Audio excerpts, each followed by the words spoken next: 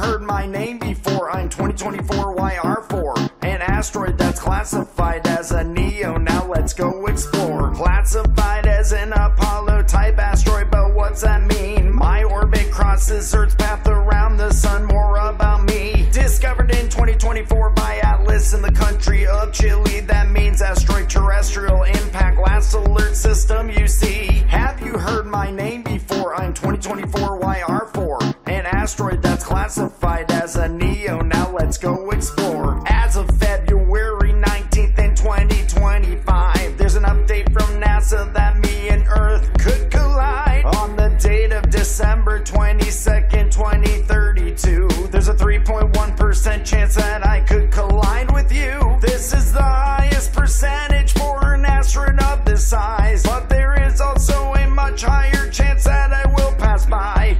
Have you heard my name before? I'm 2024 YR4, an asteroid that's classified as a NEO. Now let's go explore. My diameter ranges between 130 and 300 feet. The higher size is above the height of the Statue of Liberty. If I did hit Earth by chance, it would devastate a big city, and my blast radius would be 30 miles around me.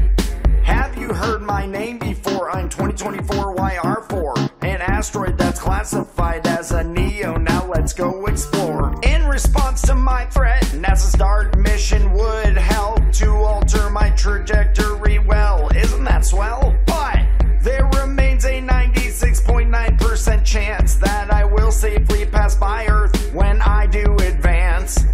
Have you heard my name before? I'm 2024 YR4, an asteroid that's classified as a NEO. Now let's go explore.